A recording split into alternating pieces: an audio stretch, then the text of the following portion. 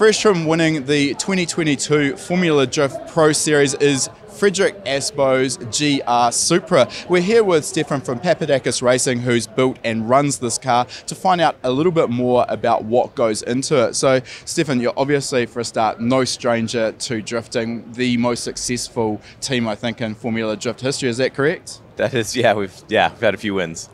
Now, you, we've talked to you before on our podcast in particular around the development of your four cylinder engine that you're running in Ryan Tuerck's uh, Corolla this year, and you've, you've got a lot of experience with that. This time, you've built a bigger car, a Supra, with the original B58 engine. So I'm interested, at this point, the Supra is definitely not new, but when you first started getting involved, these there wasn't a lot of aftermarket support for the B58 what made you decide to go down the path of, of being a pioneer with that platform rather than maybe converting to something conventional and understood like the older 2JZ?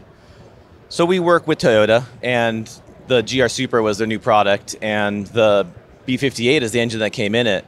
And so right when the car came out, there was a lot of uh, frustration. People wanted, I think, a different engine for some reason, and uh, so for for us, a team that is going to run that new car, I felt like it was important to show what that engine can do. Um, so we did take on a bit of a challenge, but also it was a little bit scary because we didn't know what the outcome was going to be. Uh, but that's fun for me. Um, and the profile of the engine was, you know, three liter inline six, uh, modern technology. So uh, and good horsepower, okay horsepower from the factory. Um, so we had some hope going into it, but it really was sort of a, a dark alley we were walking into. I mean, I think people hold on to the older generation of engines that they've known and loved. We see it with the 2JZ. It was no different when uh, Nissan went to the VR38 and all of the RB fans sort of were, were crying out about that. So at some point, you do need to realize that time's moved on. And modern technology in these engines also tends to improve the breed one of the potential concerns I, I, would have is obviously the older 2JZ used a cast iron block. Uh, better arguably for strength. Uh, this is a more modern engine with an alloy block. Was the strength of the alloy block a, a limiting factor for you and the power you needed to make to be competitive? No, the, the what we found is the modern aluminum blocks can be at least as good in power handling capability as the older cast iron stuff. Um, just like the four cylinder we run, it uses we'll run a thousand horsepower with a stock sleeve 2AR block. So for the 1200 that we make in the GR Supra B58 engine, uh, it's still a stock sleeve. We don't even touch the bores because it comes with a, a plasma sprayed liner on it that we haven't been able to duplicate here. So what we do is we always use a new block. Um, and so it's a little bit more challenging to do because you need newer components. Uh, but that has been a very reliable setup for us. It handles the power really well, and we have really uh, good ring sealing. So does that cause a, a, little bit more complexity around choosing an aftermarket piston? I'm assuming you're no longer running the factory pistons in this. In that, when we go to uh, a 2618 forging, for example, the piston to cylinder wall clearance is, is always going to be a little greater than on a, a factory cast piston. Uh, obviously, as you're saying, with the, the spray coating on these bores, you don't have the the ability to bore and then hone to a finished size. So, is it working really closely with your piston manufacturer to make sure the finished size of the piston will give you the clearance you need? That's exactly what we did. So we worked with JE on this. Um, I decided that we wanted to use the factory uh, ring set, factory bore, obviously, and asked JE to design a piston around um, those limitations. And what was neat was the ring pack that is spec'd in this, the B58 is actually a really good ring pack. Uh, so that was it was kind of a win on every. The block was really good. The cylinder wall lining uh, is a steel. It's like steel plasma sprayed onto the aluminum block. So it's actually it'll it's ferrous. Like the magnet will stick to it, um, and somehow they're able to get the steel to stick to the aluminum block. It's it's amazing technology, uh, and there are some other benefits like some really thin coating um, or or liner that's I think it's like twenty or thirty thousandths thick, so under a millimeter thick, and so that helps in cooling. And um, some of the tricks that JE did was. Uh, uh, some coating on the side of the uh, the skirts of the piston, and it was pretty much a slam dunk right away. Uh, even now, we're using the same uh, general piston design and clearance uh, that was originally developed. All right, you- you're at 3.2 with, with this engine, and I mean, it's a six cylinder engine, reasonable capacity. So, in terms of outright stress, making 1200 horsepower, probably not overly great. Uh, in terms of making the power, the, the bottom end's really there to support that. It's really in the cylinder head and the turbocharger. Uh, the cylinder head first, were there any sort of restrictions or problems with that head that needed to be addressed to get that sort of flow out of it? I know that the earlier uh, B58 heads had sort of a Siamese exhaust port. So, yeah, talk to us about what goes on there. So the cylinder head that originally used, yeah, had an integrated exhaust manifold. So it had only a six-cylinder engine, but only two exhaust ports, and they were both quite small. Um, so that was really the limiting factor, especially with higher RPM. So we really needed to boost it a lot to get to the thousand horsepower mark. Once uh, the 2021 Supras came out, they had a six-port cylinder head, and it unlo- unlocked like 300 horsepower at like 7,500 RPM, it's 8,000 RPM. Um, So everyone was pretty thankful when uh, when Toyota did that. yeah, that was a, a, big increase for especially high RPM. 3,000 RPM, it didn't make that much of a difference, but high RPM for sure. Uh, we work with SuperTech, and they already had a valve spring uh, retainer combination that they had built for the B48 uh, BMW engine, and that kit worked perfect and didn't have to be adapted in any way. You just order six cylinders worth instead of four. So SuperTech already had a sorted out uh, valve train um, uh, option for us. So that was a slam dunk there.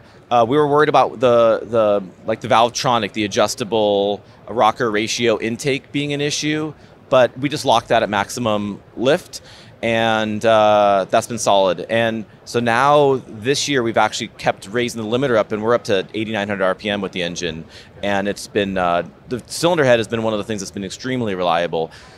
The short block the block itself has been strong and reliable. We've had some bearing issues with some of the there's like this orange uh, coating that they put on the bearings. I assume for some of the start-stop function, and they've been a bit unreliable in our application. So we've gone to the aftermarket ACL and King bearings with good luck.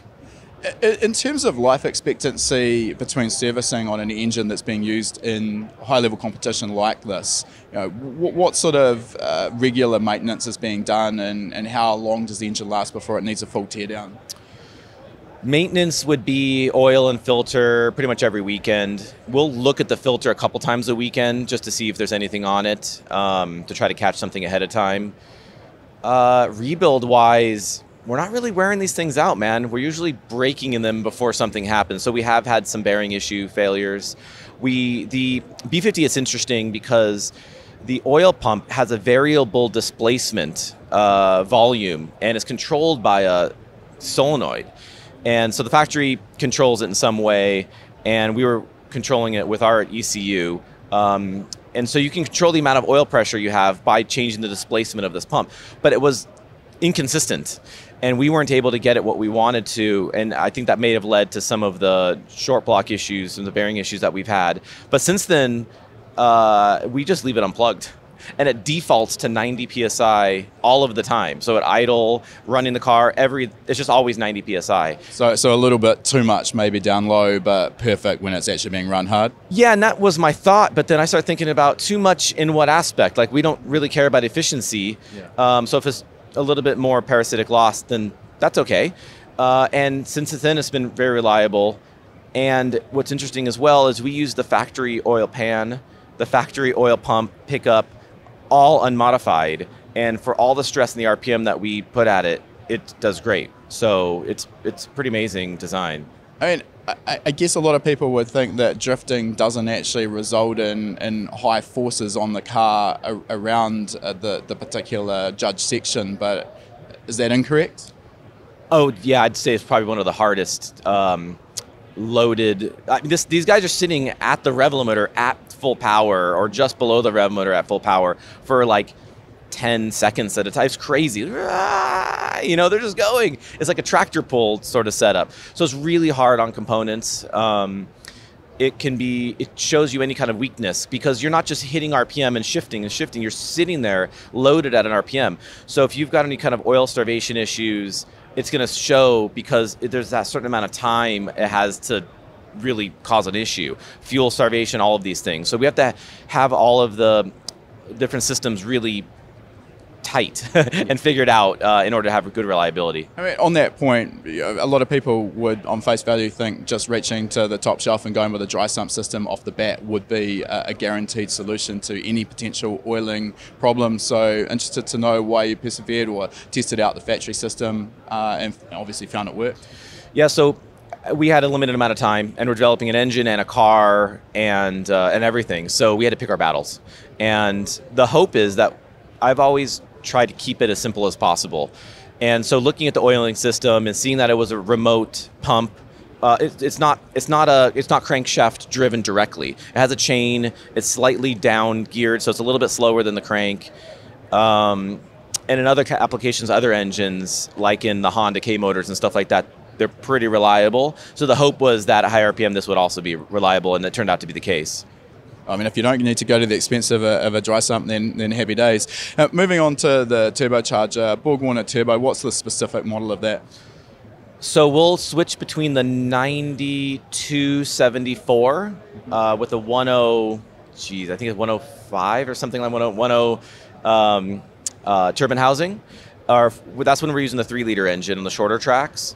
Uh, and then when we go to like the big tracks, the big bank tracks, and we have like the 3.2 liter engine in there, we'll use the 9280 turbo um, with again the, the 10, I think it's the 105. Uh, I forgot the. The internet will let us know if you're wrong. Yeah. um, and so, yeah, the Borg Warner EFR turbos have been great. We ran a dual TiAL wastegate setup on it. And uh, we regulate the boost versus uh, throttle position. Yep. And so at low throttle position, uh, he likes to have a little bit less boost. So we have this bigger range that we uh, try to, we do run with the boost levels. And so if you look under the hood, you'll see like multiple uh, AEM uh, uh, solenoids to control it. And one is set up in the traditional way where it bleeds off from the top uh, of the gate, that, that reference line. And the second one actually bleeds off from the bottom. And so we have a strategy where instead of a like a four port uh, setup, that we found this to be much more reliable and easier to tune with dual solenoids.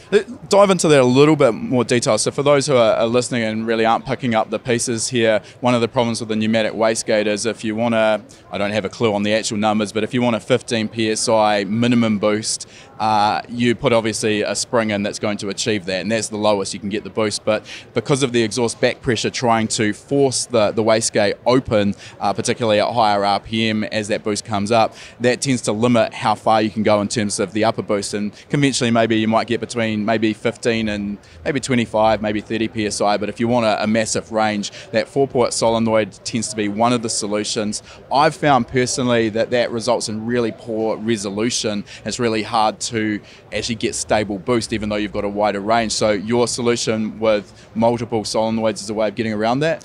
That's right. That's that's and our engine combination does have a lot of exhaust back pressure because we we try to use the smallest turbine housing that we can get away with to have the best response, uh, with some sacrifice of high RPM power. Uh, but that that that exhaust back pressure tends to make it harder to raise the boost. But um, the so, yeah, we will bleed uh, the reference off to the bottom of the gate as well as the top. Yeah. Now, in terms of the, the sizing, the turbocharger versus the, the engine, I mean, that's quite an extreme. Oh, we're going to go to this track, let's put the small motor in it or the big motor in it. I, I'm assuming you're matching the turbocharger there to the smaller or larger engine capacity just to keep that response. And I'm guessing also you don't need the outright top end power on some of the, the shorter, tighter tracks. Is that the sort of uh, basis of those decisions? has to do with uh, reliability and keeping the, the engine together. Um, we basically have I'll always have a couple of parallel engine setups. One is the one that we know really works well, and that's the three liter setup. And then we've gone to the stroked setup that has been less reliable, trying to get uh, a crankshaft that's stiff enough at the RPM that we're running. Uh, again, we were having some main, some main bearing um, and rod bearing issues, trying to get that worked out. So, I mean, ideally, you'd use the biggest engine uh, and then suit the turbo to the right track. Uh, but sometimes we're putting the reliable engine that we know is going to work really well. That maybe we, the shorter tracks we don't need 1200 horsepower. Let's just put in the setup we know we're going to get through the weekend, and then we'll continue to develop the higher horsepower engine on the side and sometimes put that back in. Now, in, terms of that horsepower, you've mentioned sort of 1200 when it when it's all in, and I mean, I think again for those sort of casually watching, we've seen the power levels in Formula D sort of climb year by year. Uh, is there an end to this? Is more power always beneficial, or is there a limit where more power is just going to end up in more tyre smoke?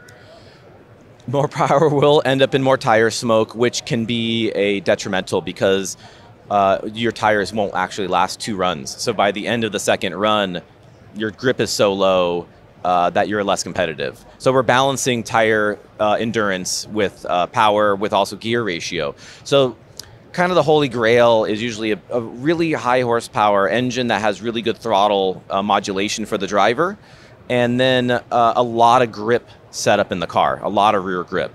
And the driver can then go quick and drive uh, quick around the track.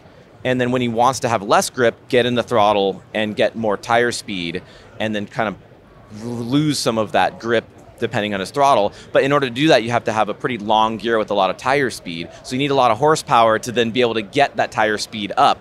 So it's this combination all of those things. And if you have everything really worked out and also on a high grip long track, the tires won't even last two runs. Uh, which is obviously a, a critical thing to, to manage there.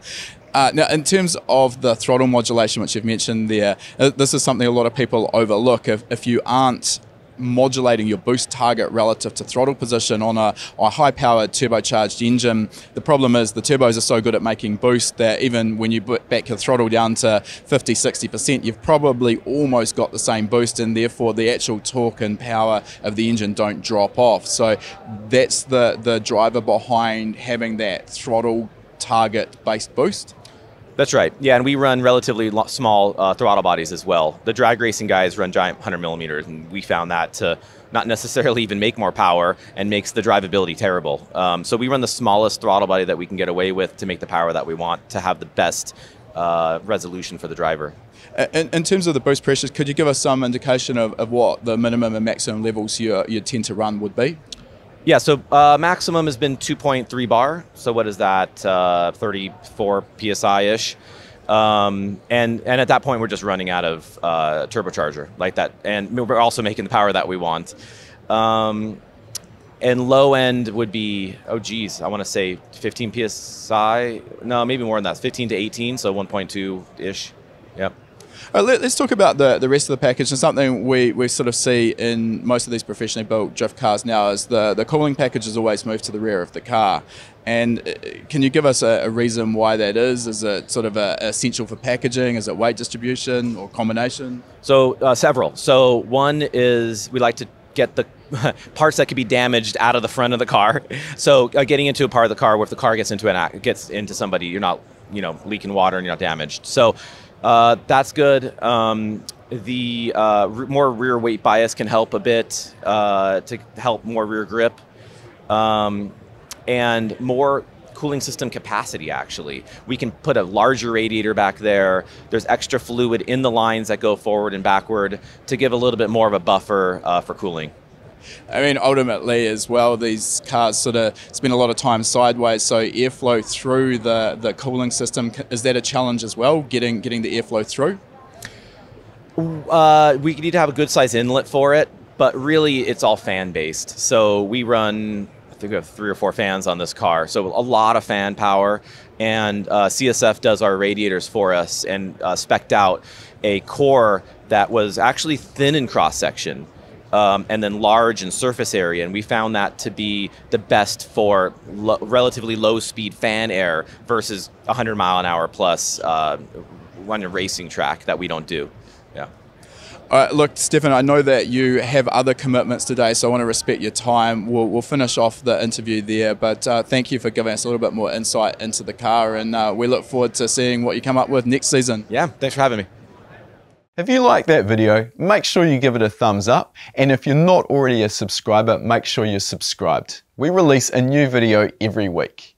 And if you like free stuff, we've got a great deal for you.